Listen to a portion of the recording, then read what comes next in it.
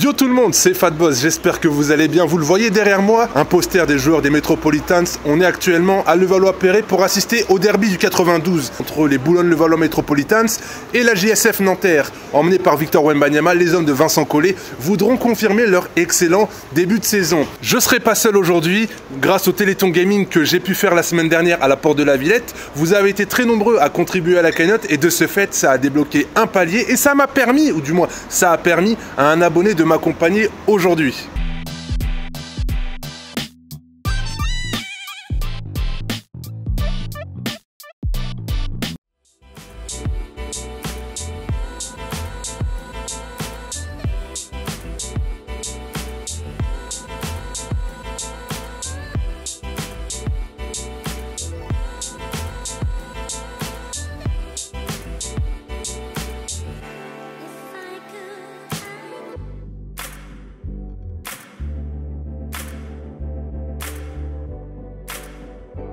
Et on est donc avec Sylvain, aka Léozil. Comment ça va Ça va, ça va très bien. En tout cas, je te remercie beaucoup, beaucoup de me laisser la chance de, de voir euh, bah, Victor, hein, ce, ce phénomène. Et enfin, vraiment, vraiment, je te remercie euh, énormément. Euh, Sylvain nous vient de Clermont-Ferrand. T'es venu et tu repars direct après le match. Ouais, c'est ça, c'est ça. Faut être un peu fou, j'avoue, pour faire autant de route. Et... Mais bon, c'est tellement difficile de le voir que bon, je pense que ça valait le coup. Quoi. Tu l'as jamais vu? Non, en vrai, non, non, en vrai, non. Et apparemment, en vrai, c'est encore plus impressionnant que, que la télé. Quoi, en fait. Bah Ouais, parce qu'à Clermont-Ferrand, à part éventuellement espérer une Coupe de France contre Vichy, on n'a Ouais, pas forcément de champ de peut- manœuvre. Il y a Lasvel qui est pas trop loin, mais c'est pareil. C'est à combien de temps C'est souvent une heure, une heure et demie de Lyon. Mais c'est pareil, c'est souvent plein et pour avoir des billets, c'est un peu, un peu galère. quoi. On va donc vivre ce match ensemble. On est assez bien placé parce que j'ai fait la queue pendant 45 minutes pour avoir les places il y a quasiment un mois. N'oubliez pas le pouce vers le haut, vous abonner et un commentaire pour la force.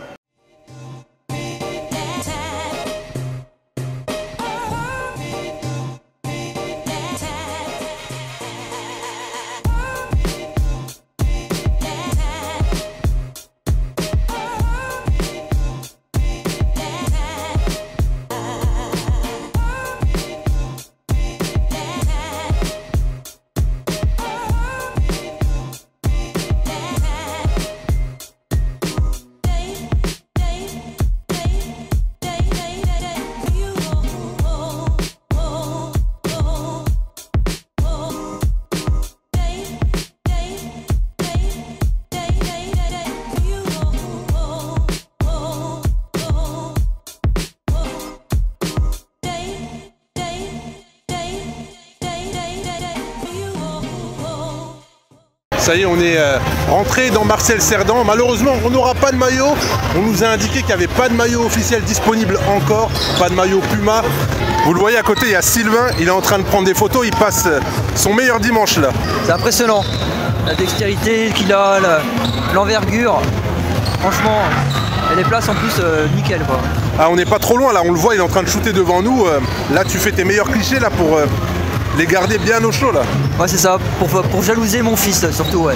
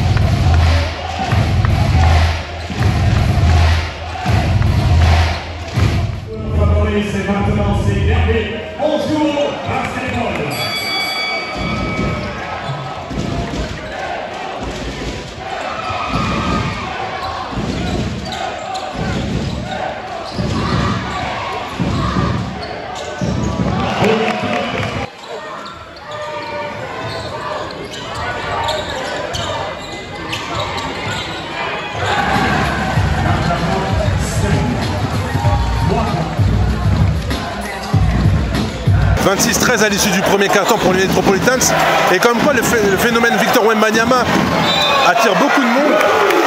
Il y a Lionel Jospin présent ici, il y a Nicolas Anelka et il y a même Fabrice Eboué. Autant vous dire que le phénomène Wembanyama, il est multiple. naturel, c'est incroyable. Et même là, la salle est comble, la salle est remplie. Et je pense que c'est pareil à chaque match. On entend beaucoup plus les supporters de Nanterre que les supporters des Metropolitans. C'est peut-être ça le seul bémol. Trois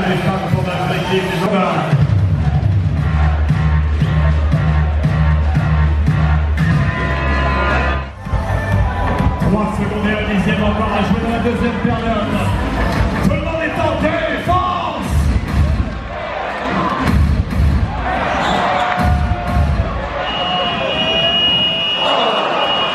Et c'est la pause.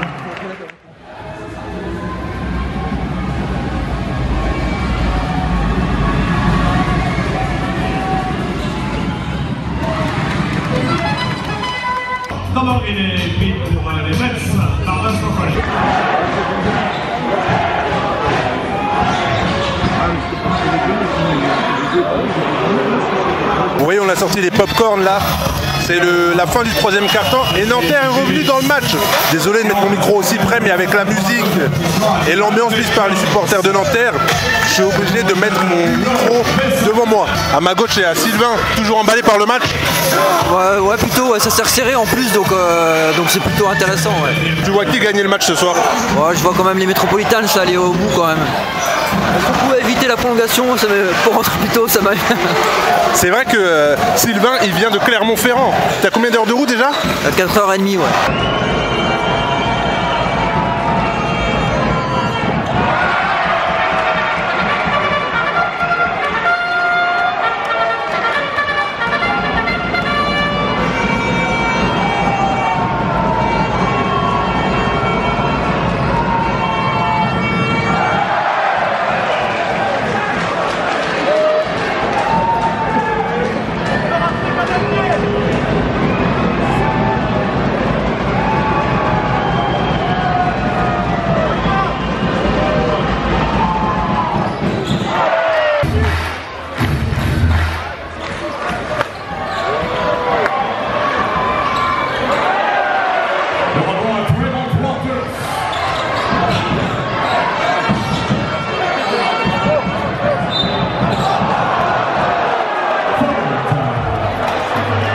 25 secondes, 89-85 pour les Metropolitans. Wembanyama a fait un gros match, il a fait du Wembanyama quoi.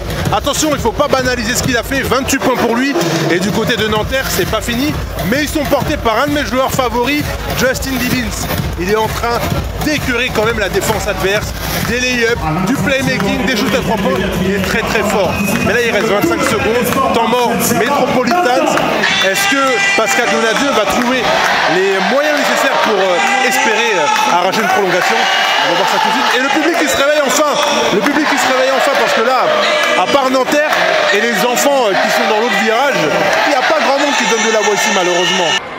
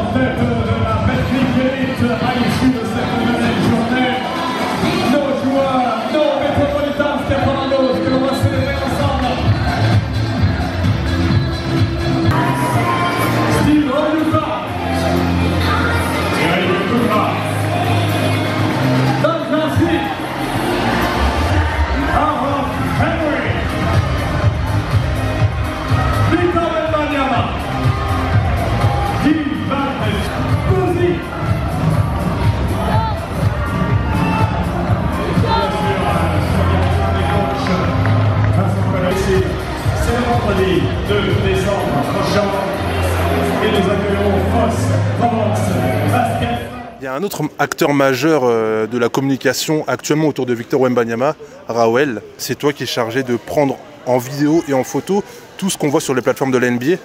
C'est ça Comment ça se passe? Du coup, tu vas le suivre sur chacun de ces matchs? Ouais, match domicile, match extérieur. Fait le job. Hein. La hype est réelle, tu peux, tu peux le confirmer? Je peux le confirmer. ouais. C'est chaud. Eh, donc n'hésitez pas à aller le follow, je vous mets euh, ses réseaux sociaux en barre de description.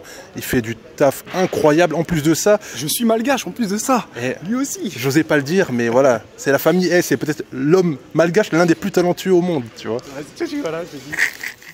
Il y a deux semaines, on était avec euh, Freddy Fautou, coach de Bourg-en-Bresse. Là, on est avec un monsieur, sélectionneur de l'équipe de France et coach des Metropolitans, Vincent Collet. Vincent, félicitations pour cette victoire. Merci. Euh, quels sont les enseignements à tirer de cette victoire à chaud comme ça? Je pense que d'abord que c'était un vrai derby, euh, parce qu'après une entame de rêve euh, où on aurait pu penser qu'on allait euh, s'envoler, euh, moi je savais que, que Nanterre n'allait pas se laisser faire et essayer de revenir, mais je pense qu'on a, on a quand même euh, été un peu euh, euh, permissif dans cette première mi-temps et petit à petit Nanterre est revenu et ça nous a obligés à faire un deuxième match au lieu de le gagner. avec le premier écart, on a dû batailler après toute la deuxième mi-temps. C'était vraiment serré et, franchement, bah, on s'en sort, sort plutôt bien avec quelques quand même bonnes possessions en fin de match, euh, des, pénétrations de, Waters, quelques paniers euh, près du cercle de Victor, alors qu'on on l'a pas suffisamment euh, trouvé près du cercle. et voilà, donc, aussi quelques stops défensifs à la fin, alors qu'auparavant on avait été moins performant qu'au début, en particulier sur les tirs à trois points, on avait été coupable de quelques largesses. Je ne peux pas m'empêcher de vous poser des questions sur Victor. Vous l'avez eu cette semaine, durant la semaine passée, en équipe de France. Comment on gère le temps de jeu de Victor quand vous l'avez eu en équipe de France et là, du coup, vous le reprenez avec les Mets? Ah bah là, ce soir, on n'a pas pu trop gérer le temps de jeu parce que malheureusement, euh, Iboufa il s'est blessé au bout de, de 5 minutes. Donc euh, notre rotation intérieure était, euh, bah, comme celle de Nanterre, euh, beaucoup affaiblie. Donc il a joué toute la, toute la deuxième mi-temps. Il a joué, c'est son plus gros temps de jeu avec nous. Mais bon, on a la chance de jouer qu'un match par semaine. Il se reposera demain. Il est jeune. Je crois que c'est pas un vrai problème. En équipe de France, il y a bien sûr beaucoup plus de joueurs. C'est beaucoup plus facile de le faire souffler. Mais, mais ce soir, on avait vraiment besoin de lui. Euh, S'il n'avait pas été là, on n'aurait pas gagné. Quelles sont les ambitions cette année? Bah, en fait, on ne savait pas trop. euh, enfin, si, on en avait une, c'était vraiment de développer l'équipe. euh, parce qu'il y a beaucoup de jeunes. Hein, Au-delà de Victor, bon, il y a Armel Traoré qui malheureusement est blessé, Hugo Besson, bientôt Bilal Koulibaly qui, à mon sens, pourra aussi jouer. Euh, donc, on voulait vraiment euh, être dans une phase de progression. Et franchement, euh, je ne m'attendais pas à ce qu'on soit là. Après, on a un calendrier qui a été favorable. Euh, on n'a pas joué les, quatre premiers du championnat. hein, euh, ni Monaco, ni Villeurbanne, ni Cholet, ni Dijon. Donc il faut relativiser malgré tout euh, notre position. Euh, Mais après, euh, le temps travaille aussi pour nous, parce que comme on est un- une équipe très jeune, je pense qu'on va continuer à progresser. Ah, Parfait, merci et encore merci pour tout ce que vous avez fait avec les Bleus et depuis. Merci. Fin du périple, Fin du périple, ouais, c'est ça. On a vu un gros match, un gros victor. Euh, un début de match euh, qui était plutôt à l'avantage des Metropolitans, ça s'est resserré, donc euh, et c'est dans notre avantage. Donc du coup, c'est un, un bon match. ça valait le coup de venir du coup. Ouais, ça valait le coup de venir, ouais. On a vu Victor, ça c'est fait. Du coup là tu reprends la route et demain tu m'as dit tu commences le boulot à 5h. Ouais, faut que je sois à 5 heures, ouais. En tout cas moi c'était un grand plaisir d'avoir amené un abonné. On a tenu notre promesse suite au Téléthon Gaming d'amener un abonné voir un match de BetClick. Peut-être qu'on réitérera l'expérience incessamment sous peu, mais en tout cas merci Sylvain En d'être tout cas, venu. je, te- je te remercie encore. Je- merci beaucoup en tout cas pour l'invitation et voilà, merci, merci beaucoup. Quand tu regarderas le vlog, je pourras dire j'y étais. Ouais, voilà, c'est ça, c'est ça. En tout cas, n'hésitez pas à vous abonner, le pouce vers le haut, à un commentaire et à partager pour que euh, cette vidéo soit de plus en plus vue ainsi que les autres vlogs parce que je vais continuer de faire des vlogs autour de la Belgique Elite donc n'hésitez surtout pas. On se retrouve très bientôt, portez-vous bien, c'était votre Gafa de boss comme on dit chez moi. N'oubliez pas le petit pouce. Surtout, God bless, peace.